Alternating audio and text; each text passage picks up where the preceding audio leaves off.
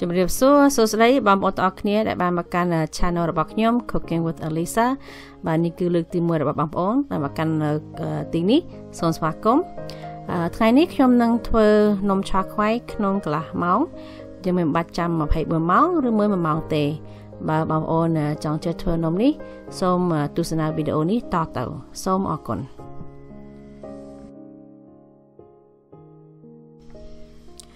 មុនបបបង្អស់យើងនឹងលាយមេម្សៅយើងនៅក្នុងនេះយើងដាក់ទឹកកន្លះកែវហើយនឹងស្ករ2ស្ព្រាបាយ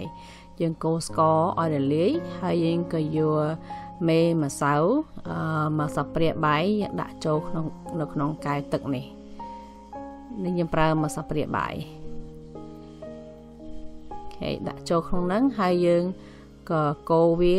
ឲ្យសក់យើងក៏ទុកវាចោលប្រហែល3ទៅ5នាទី ហើយយើងក៏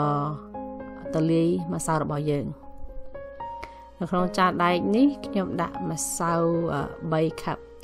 នេះម្សៅមីគេហៅ all purpose flour គេហៅ all purpose flour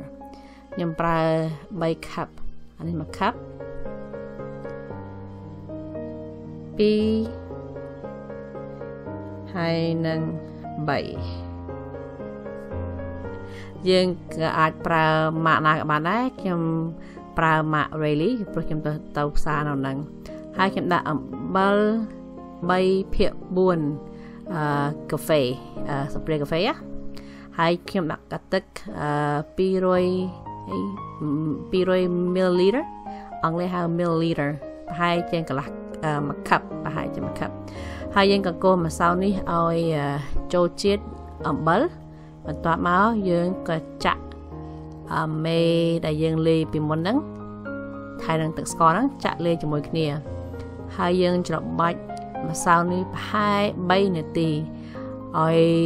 នំហ្នឹងវាចូលឲ្យម្សៅនឹងចូលជាតិជាមួយអំបិលហើយនឹងស្ករហ្នឹងហើយយើងក៏យកអីមួយគ្របទុកវាចោលម្ល៉េះមុននឹងយើង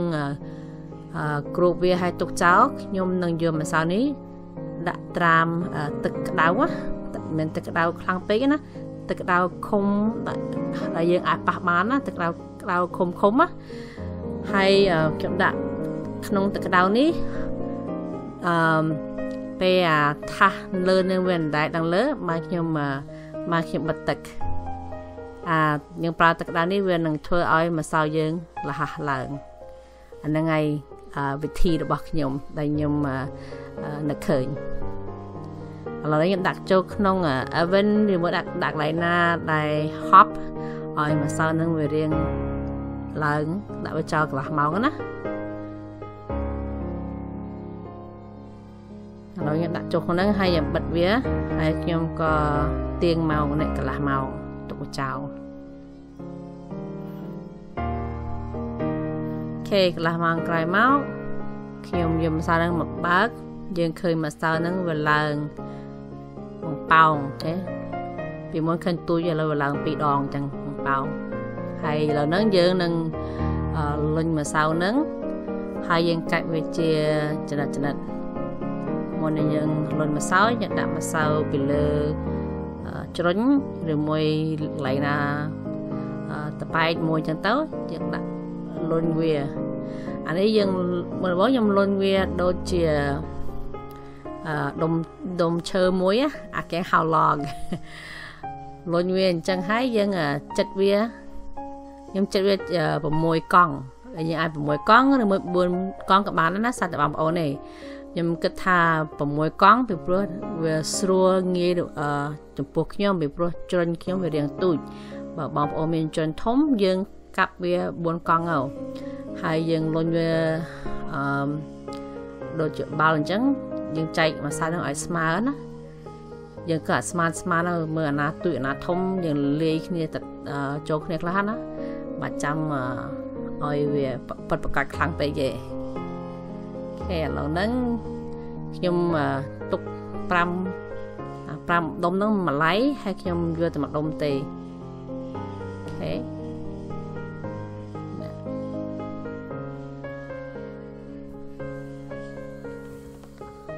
ខ្ញុំទុក5ដុំហើយឥឡូវខ្ញុំយកម្ដុំហ្នឹងខ្ញុំលុញវាលុញវាយកបើយើងអត់មានគេហៅអីអា rolling pen នេះយើងអាចយករេក៏បានដែរណាយើងរេលុញវាយើងធ្វើវាមិនឲ្យវាតប៉ែកអានំឆាខ្វៃនេះយើងកុំឲ្យវាតប៉ែកពេកឬមួយកុំឲ្យវាធំពេក យើងធ្វើឲ្យឲ្យល្មមរៀងស្ដើងតែកុំឲ្យស្ដើងពេកពីព្រោះបើស្ដើងពេកពេលយើងជៀនវាទៅវានំនឹងវាអត់ឡើងទេហើយបើយើងក្រាស់ពេកនំនឹងវាវាអត់ឆ្ងាញ់ទេព្រោះវាវាមានជាតិម្សៅច្រើនពេកយើងធ្វើឲ្យនេះប៉ុណ្នេះប៉ុណ្នេះល្មមនេះខ្ញុំញ៉ាំបានវល់ឲ្យមើលតែប៉ុណ្្នឹងហើយល្មមបងប្អូនស្មានណាមើលមើលប៉ុណ្្នឹងអូខេឥឡូវនេះយើងយកកបិតមួយអឺយើង ចិត្តវាជាចំណិតចំណិតណាខ្ញុំមានកបិតកបិតតប៉ែតចេះអានឹងស្រួលប្រើប្រហែលមើលប្រហែលម្រាមដៃ2យើងដាក់ម្រាមដៃ2ចូលនោះស្មើប៉ុណ្្នឹងហើយខេនេះអាចុងអាម្សៅចុងហ្នឹងយើងយើងដាក់ជាមួយអាដុំម្សៅទៀតទៅហើយលុញវាម្ដងទៅអូខេឥឡូវនេះយើងអាចធ្វើចិត្តវាចំណិតចំណិតអញ្ចឹងច្រើនណាហើយបើយើងយូរទៅជៀន ហើយយើងយកឈើដោចសនុចចកៈនេះយកជ្រលក់ទឹកហើយយើងដាក់ពុះកដាវាជាពីរអញ្ចឹងណាដែលខ្ញុំមកហាយនៅក្នុងវីដេអូនេះយ៉ាធ្វើអញ្ចឹងហើយហើយអាមួយខាងក្រោមនោះយើងយកអាហ្នឹងដាក់ទៅលើដាក់ទៅលើសិនបើយើងយកឈើនឹងជ្រលក់ទឹកកត់ទៅម្ដងទៀតអូខេយើងដាក់វាអញ្ចឹងហើយ យើងយកអាឈើចង្កឹះនឹងទៀតមិនឈើចង្កឹះឈើចំនួនហ្នឹងឆ្កត់វាថើថើកុំឲ្យខ្លាំងពេកពីព្រោះយើងឃើញថាបើយើងឆ្កត់ខ្លាំងពេកទៅពេលជៀនទៅវាវាអត់ប៉ោងស្មើមិនវាអត់អឺវាអត់ស្អាតទេឥឡូវឥឡូវនេះឥឡូវយើងដាក់ជៀនឆាខ្វៃហ្នឹងនេះខ្ញុំប្រើចង្កឹះយើងដាក់ចង្កឹះនៅក្នុងឆ្នាំងទៅវាឃើញខ្លាញ់ រៀងពពុះពពុះអានឹងខ្លាញ់យើងថាអូអានឹងក្តៅហើយយើងអាចជៀននំបានហើយឥឡូវនេះខ្ញុំដាក់ជៀននំមុននឹងជៀនយើងទាញវាសិនហើយអានំនេះកុំឲ្យបើកភ្លើងខ្លាំងពេកបើបើកភ្លើងខ្លាញ់វាលះឆ្អិនហើយនំយើងអត់ស្រួយទេអឺហើយយើងជៀនម្ដងបន្តិចម្ដងទៀតណាព្រោះអានំនោះយើងត្រូវការប្រើឲ្យយើងប្រែវាចញ្ញឹកបើយើងដាក់វាច្រើនពេកយើងប្រែវាមិនតាន់ណា អូខេឥឡូវនេះយើងជៀននំនឹងដល់វាคล้ายជាពណ៌ golden golden brown បានយើងបានយើងស្រង់វាចេញឥឡូវនេះយើងនេះយើងប្រែវាឲ្យញឹកអញ្ចឹងណាក្លាប់វាពីម្ដងអញ្ចឹងឲ្យវានំនឹងវាប៉ោងស្មើបើអញ្ចឹងទេនំយើងអាមួយផ្ទូចអាមួយធំហើយមើលទៅវាអត់ឃើញស្អាតទេ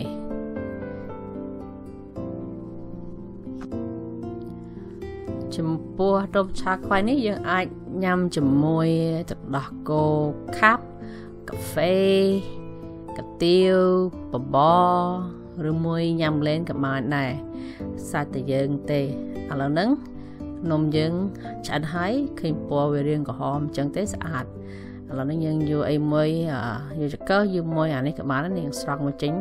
ទុកវាឲ្យត្រជាក់ ចឹងនំនេះយើងឃើញថាបើវារៀងត្រជាក់ទៅនំនឹងវារៀងស្រួយបើនៅក្តៅក្តៅអញ្ចឹងវារៀងទន់ណាវាអត់សូវស្រួយប្រហែលទេ